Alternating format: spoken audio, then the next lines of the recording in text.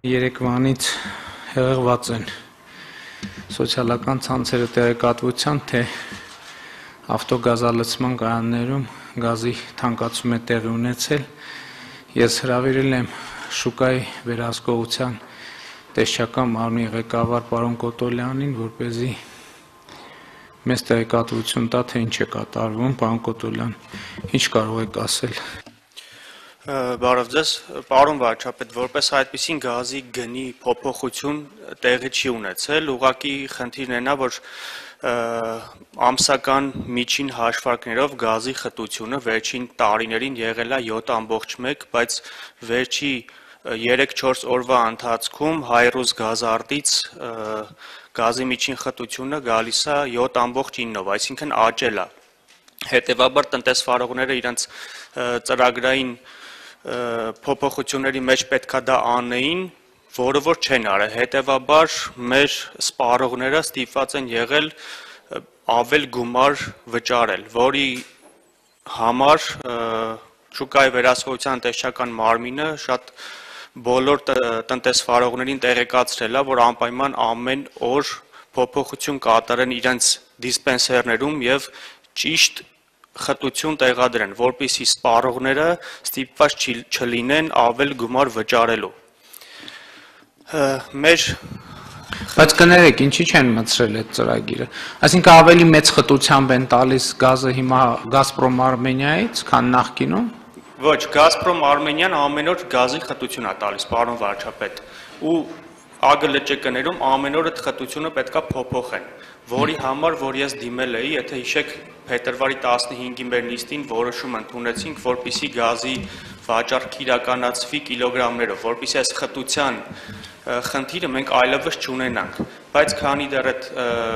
օրենքը ուժի մեջ չի մտել ազգային ժողովում ներկայդրությամբ։ Չի ընդունվել այդ օրենքը դեռ, չէ՞։ Ոչ, դեռ չի ընդունվել ազգային ժողովում։ Ոչ միայն ուժի մեջ չի մտել, այլև չի ընդունվել առաջին կամ երկրորդ ընդ։ Հիմա առաջիկայում ԱԳԼՃԿ-ների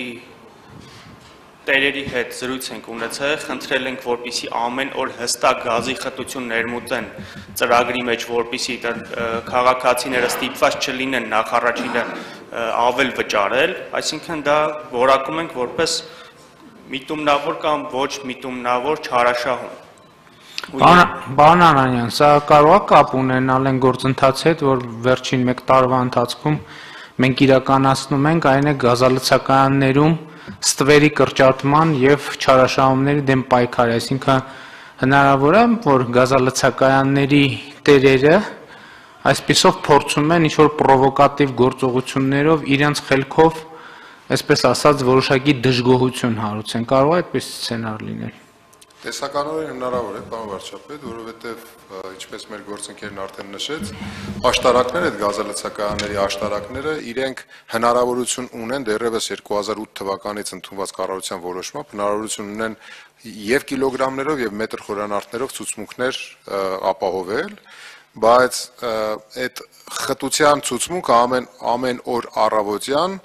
մարդկային գործոնով է պայմանավորված, այսինքն ամեն առավոտ համակարգիչ համակարգիչ մուտք է արվում խտության գործակից։ Եվ տարիներ շարունակ մենք այդպիսի տեսակետ ունենք, որը դեռ ճշգրտման կարիք ունի, որ նաև այդ գործակիցը տասնորդականների ճշգրտության կամ փոփոխության պարագայում կարող էր ապահովել որոշակի ինչ որ ծավալների փոփոխություն։ Կարող է այդպես պայմանավորված լինել Ես հետեւյալի վրա եմ ուշադրությունը ուշադրություն դարձրի, որ 3 մանիպուլյատիվ տեղեկություններ են տարածվում, թե իբր կառավարության որևէ գործողության արդյունքում գազի գինը փոխվել է եւ այդ է պատճառը, որ այդ ամեն ինչը տեղի ունեցել։ Նախ ուզում եմ արձանագրենք, որ որևէ նման գործողություն տեղի չի ունեցել։ Երկրորդը նույնիսկ մանիպուլյատիվ տեղեկատվություն կար, թե իբր կառավարությունը այն օրենքի նախագիծը, որ ընդունել է, այդ օրենքի հետ է կապված, ես ուզում եմ ասեմ նախ,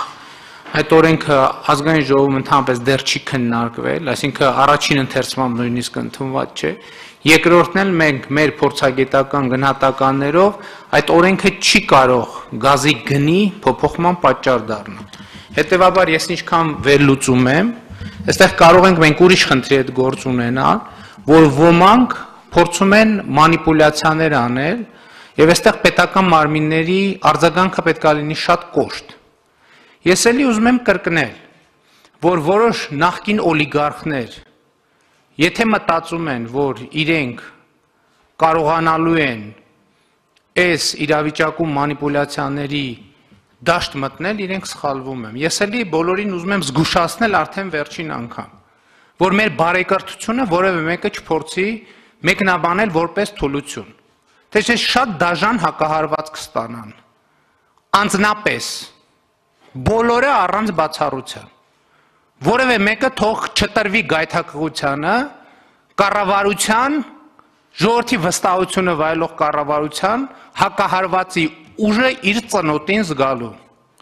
Ես սա շատ ուղիղ եմ ասում եւ շատ հասցեական եմ ասում։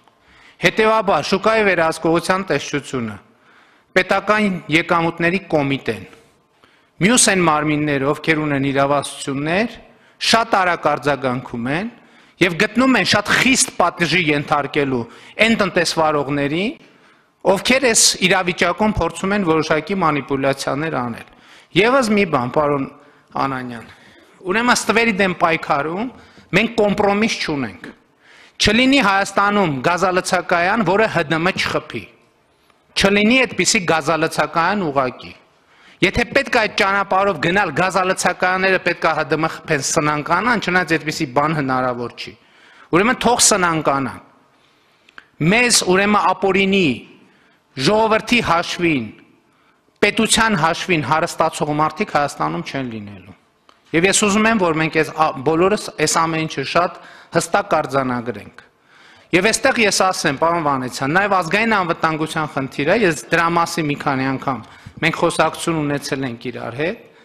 Այո, մեր երկրում խոսքի եւ տեղեկատվության ազատությունը երաշխավորված է։ Բայց եթե որոշ հանցավոր շրջանակներ միլիոններ են ծախսելու սոցիալական ցանցերում, լրատվամիջոցներում հասարակական կարծիքի մանիպուլյացիաներ անելու համար դա ազգային անվտանգության խնդիր է։ Եվ ես հույս ունեմ, որ ձեր ծառայությունը կկարողանա այս հարցում ապահովել կոնկրետ արդյունքներ, որ เป զ այդ այդ բաները ընդཐུպ ընդཐུպ սոցիալական ցանցերում կան այսպես ասած ընդཐུպ հեղափոխության դրոշներով հանդես եկող ֆեյքեր, որոնք բռնությունների կոչեր են անում։ Ընթոփ ընթոփ, այսպես ասած, նախկին իշխանության ներկայացուցիչների հասցեն ցույց տալու համար, թե դա իրոք մեր բանի հեղափոխական շրջանակների հետ կապ ունի։ Այս կարգի մանիպուլյացիաները պետքա շատ կոշտ հակահարված ստանան,